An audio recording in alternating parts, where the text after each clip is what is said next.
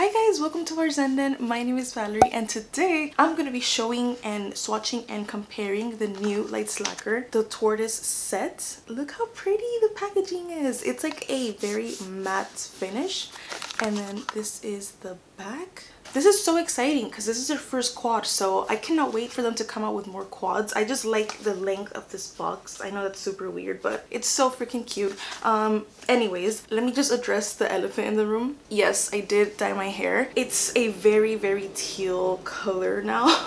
I did film a video dyeing my hair, but I just had to film this first and post it before that video. Let's just pretend like my hair is normal still. You guys will see that video eventually, so just keep your eyes open for that. So if you guys have never seen these type of videos before, I do nail comparisons with other Lights Lacquer polishes. I do the swatches of all the polishes in the collection. And then at the very end, I do a ranking from my least to my most favorite colors just for fun. So please don't forget to let me know what your ranking is. Alright, so before I begin this video, I just wanted to let you guys know that I will be doing a huge giveaway once I hit 1000 subscribers. I'm going to be selecting multiple winners so you guys have a really high chance of winning the giveaway. So don't forget to subscribe, give this a like and leave me a comment. That helps out so much with the algorithm of my little channel so I would really really appreciate it. Um, but yeah, let's just jump back into the video.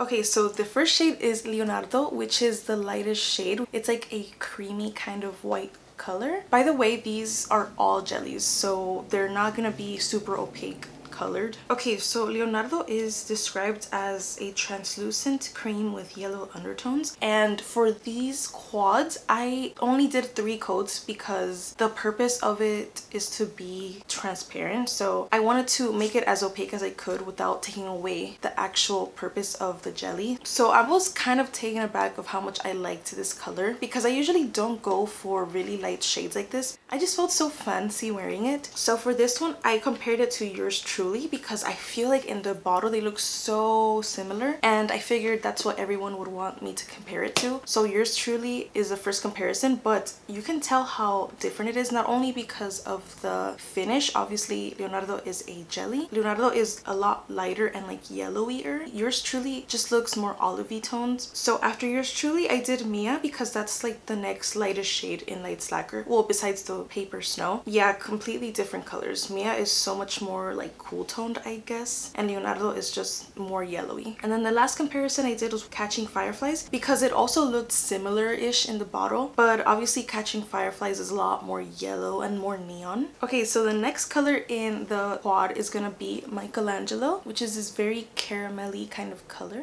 Okay, so Michelangelo is described as a translucent caramel with yellow undertones. Honestly, this color reminds me so much of those like cube caramel candies. Oh my god, I used to love that as a kid. Like I said before, I did three coats of this one as well just because it is a jelly and it's meant to be translucent. So out of all the colors in this collection, this one was the hardest to compare to any other color in Lights Lacquer just because there is nothing like it. So the comparisons look a little wacky and it's super weird but this is the best that I can do with what we have. So the first one that I compared it to was gingerbread and I feel like gingerbread reminded me of it because it is like a translucent jelly finish. So I guess that's why I kind of felt like it needed to be compared to that. Even though it's so different you can tell how much more orange and warm gingerbread is. So after gingerbread I feel like this is where it gets weird. I compared it to Mr. Brightside. I don't know when I first swatched it I thought it looked similar enough I guess to be compared to Mr. Brightside, but I just wanted to put it there so you guys can see how much more yellow Michelangelo is. And trust me, there is nothing like Michelangelo, so it was so hard to compare this color. And then the last one that I did is Unagi, just because it had like that warm brownie kind of color. Okay, so the next color in the collection is gonna be Raphael, which is the more reddish shade of the collection.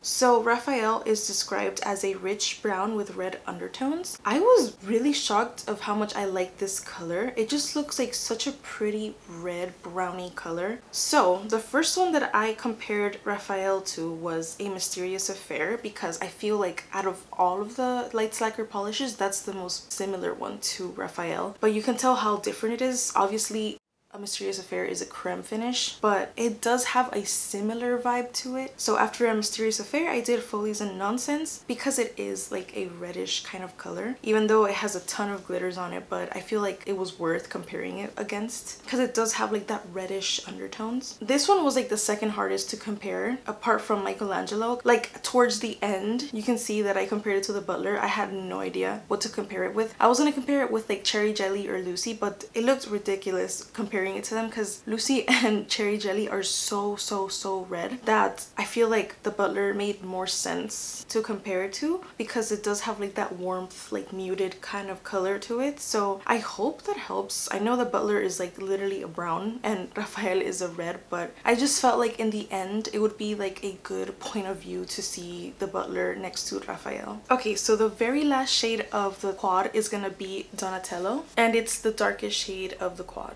Okay, so Donatello is described as a translucent walnut brown. And I know every person literally thought it looked just like Olivia in the bottle. But oh my god, once you guys see the comparisons, you will see how completely different it is. These are all jellies. So the colors that I'm comparing them to are not jellies. That's like a big difference in itself. So if you see the comparisons, you can see how much more earth toned Olivia is. And Donatello is just like way, way more translucent. And it has like a more like reddish undertone, if that makes any sense. So after Olivia, I compared it to Aliana because Aliana is like the second darkest color besides, you know, like the blacks. I haven't swatched Aliana in such a long time. So when I saw it, I'm like, oh my god, this color is beautiful. It's like such a pretty round color. So I feel kind of like dumb for not using it so I might have to use it soon. I kind of like ran out of options and I put Cortadito as the last comparison but it does kind of like help you know because you can see how dark Donatello is and I don't know I just I think out of all the comparisons that one was the one that I was most proud of because they're all like actual browns. Alright so before we end this video I'm gonna tell you guys my ranking from my least to my most favorite. Okay so I feel like my least favorites out of the quad. Not that I don't like it at all, just the least that I will probably use is gonna be Michelangelo. I don't know why my specific reason for this one is, but because I love the color is very, very pretty, but I just feel like I wouldn't use it as much as the other ones. Honestly, before I even continue this ranking, I have never done tortoise nails ever. I've never actually been a real fan of the tortoise aesthetic, but this has definitely intrigued my interest to do a tortoise nail so maybe I will do it and like post it on my IG so I'm gonna try I feel like it'll be so bad because I'm not a nail artist so we'll see how that looks. Okay so my third place is gonna have to be Donatello. I actually really like this color. I feel like in my comparisons I did it really dark. I would definitely do like one or two coats and I feel like that would look so pretty. All right so my second place is gonna be Leonardo. When I was watching this like I said before I was impressed of how much I miss wearing really light shades on my nails. I feel like this is gonna bring me back to that. I got super excited so now I do want to do light nails on my hands at least again. Okay, last but not least, my favorite out of the quad is gonna have to be Raphael.